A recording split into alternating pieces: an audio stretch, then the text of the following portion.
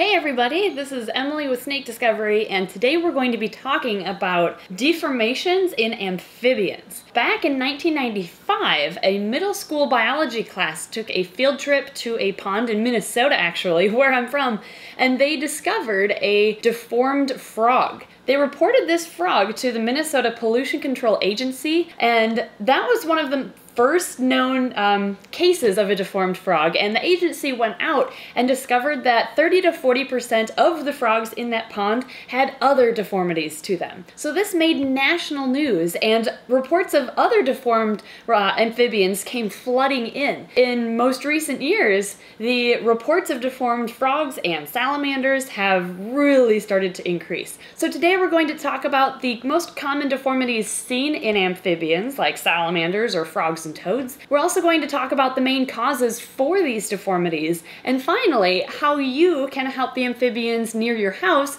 and help them prevent getting such deformities.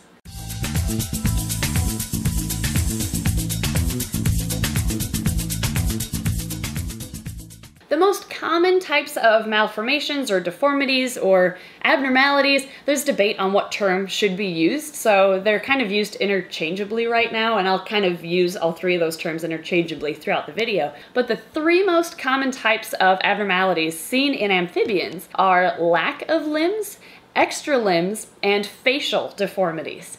This is an example of a, uh, an amphibian with a deformity in his leg. This is my tiger salamander Thomas, and when I got him, he had just recently been attacked by a predator that tore off his front left leg, and all that was left was just a little bone that was literally sticking out of his body. And over the course of about three months, he completely regrew that limb, but it still does look a little bit different than it originally did. It's a lot smaller than the original leg. That doesn't stop him, however. He still walks just as well as normal salamanders do. He has a huge appetite. He's done very well. I bet he'd try to eat my finger here. Yep, he's always hungry. In salamanders, another abnormality that's commonly seen are gill deformities in their larval phase. Here's an example of an amphibian with a facial deformity. This is one of my newer amphibians, actually the newest amphibian of mine. This is One-Eyed Willie. He has, he was found by one of my neighbors and he is missing his left eye. Uh, we don't know exactly what caused it because it was already healed over by the time she found him, but he still hangs in there as well and it it's a little tougher for him to hunt for his food, but he manages. We have decided to keep him in captivity though, because there's a good chance he wouldn't get enough food in the wild. He might, but we feel like he has better odds of survival in captivity. Although we don't know exactly what happened to this little toad's eye, we do know that there are four main causes for deformities in amphibians. Those are predation, parasites, nutritional deficiencies, and contamination or pollution. Deformities occur when cells interact with each other during development of tissue in a way that they're not supposed to. It could also be from the wrong types of cells interacting with each other. Frog and toad malformations often are a result of environmental factors affecting these animals when they are still in their tadpole phase. Anurans, or frogs and toads, experience regenerative decline, which means that as tadpoles, they can regrow their legs, they can regrow their tails, even their eyes, but as they age and get closer to becoming an adult like this toad here, they lose the ability to regenerate that tissue. So that's why predatory attacks are very variable in the long-lasting effects of toads and frogs. Not only does their regenerative ability depend on how serious of an attack from a predator they get, but it also depends on what stage of life they're at.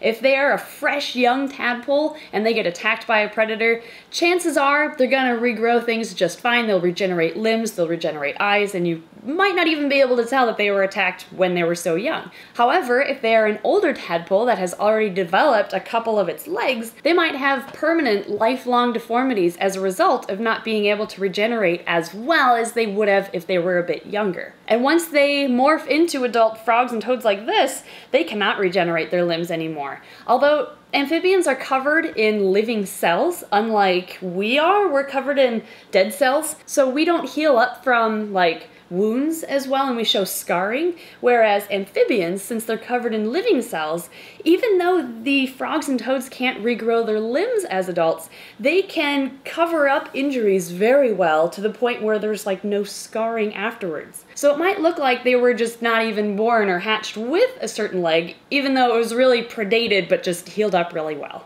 Since frogs and toads grow their hind legs first, they are exposed for a longer amount of time to predators when they're in their tadpole phase, and therefore frogs and toads are more likely to have injuries and deformities in their hind legs than their front. And there's something called selective predation, where predators that these frogs and toads would encounter in the wild as tadpoles these predators aren't big enough to eat the entire tadpole, so they just eat pieces of the tadpole, specifically legs and maybe tails. And one example of such a predator are dragonfly nymphs. Dragonflies eat all sorts of things, especially when they are nymphs, when they're still living in the water, and they seem to target the hind legs, or just legs in general, of frogs and toad tadpoles. Other predators that these guys will encounter as tadpoles include leeches and fish, maybe some crustaceans, and even other tadpoles. Larger species of frogs and toads as tadpoles will often attack or completely eat smaller tadpoles.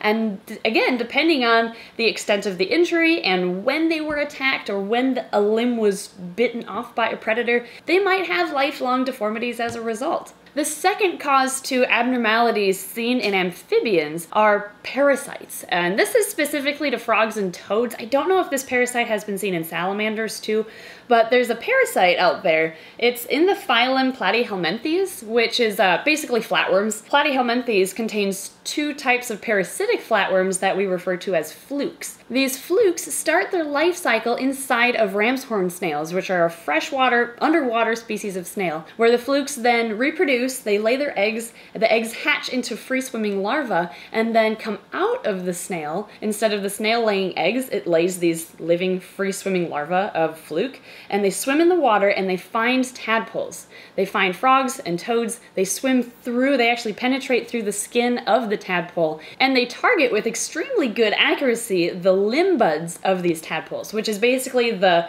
the bud from which a limb will grow. And these flukes inside of the limb buds will cause legs to grow up and outwards in weird directions, and they'll grow extra legs from where they're where these flukes are. And this causes the tadpole, when it morphs into a frog, to not be able to move. So these frogs are immobilized because of all these weird legs caused by the fluke, and birds eat them. They're perfect prey for birds. So they get eaten up, these frogs get eaten up by birds, and that's what the fluke wants. That's what this parasitic flatworm is going for. They use birds as a host to reproduce in, and then their eggs are passed through the feces of birds back into the water. They find their way to snails, and the whole cycle starts over again. So, parasites, especially the species of um, parasitic flatworm or fluke, can cause deformities in amphibians as well.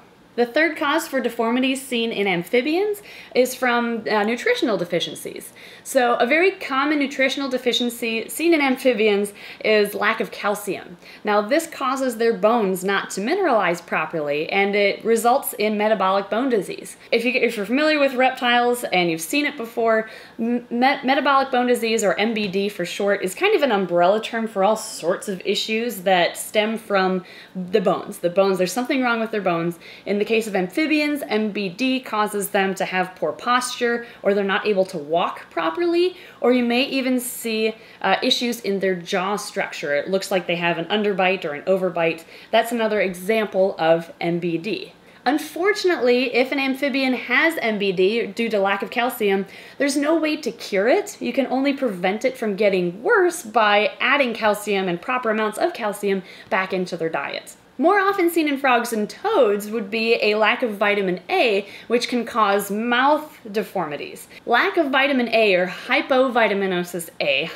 Hypervitaminosis means there's too much of the vitamin. Hypovitaminosis means there's not enough, so a lack of.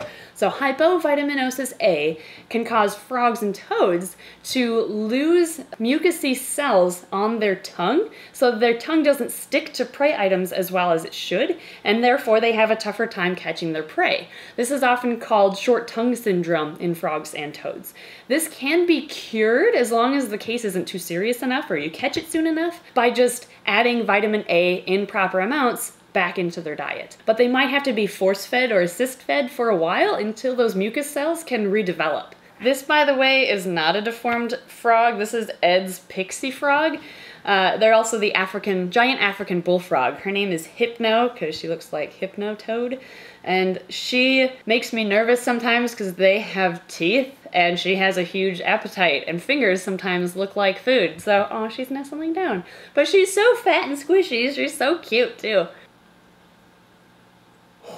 Thank you for just licking me there. The most common and the most serious cause for deformities in amphibians is pollution or contaminants in their environment. Similar to chemical induced birth defects in humans, amphibians, since they have such sensitive skin, since it's living tissue covering their whole body, that means amphibians are more sensitive to diseases and pollution, toxic chemicals, UV radiation, and basically human induced environmental damage heavily impacts their health. It has been proven time and time again that habitats of poor quality have high percentages of deformed amphibians that live within it, whereas clean habitats or habitats of a good quality have much fewer deformed amphibians inside. So there is a direct negative correlation between habitat quality and deformities in its amphibians.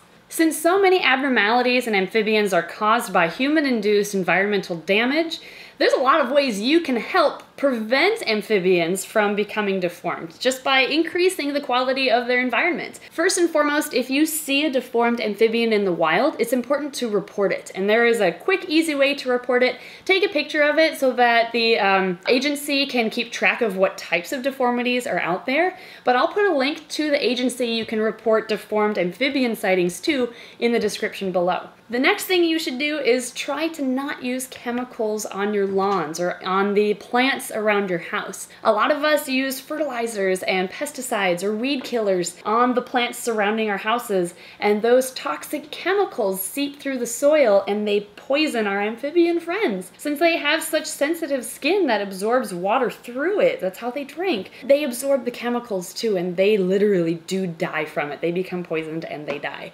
So try to use fewer chemicals chemicals, if any at all, on the plants around your house. The best thing to do when it comes to weeds is just pull them by hand. For me, I like pulling weeds by hand uh, around my house because it gives me an excuse to be outside and in the sun. It's kind of a nuisance, but I mean, it's better than using chemicals. And it also allows me to collect earthworms from my yard or on my driveway because I know no chemicals have been used around it, so I can collect earthworms for free to feed my salamanders, so it's free food that isn't gonna be toxic. Another very important thing you can do at home to help amphibians in the wild is to keep any bodies of water around you clean. If you see any trash by a pond by your house or by a lake or a stream or any source of water.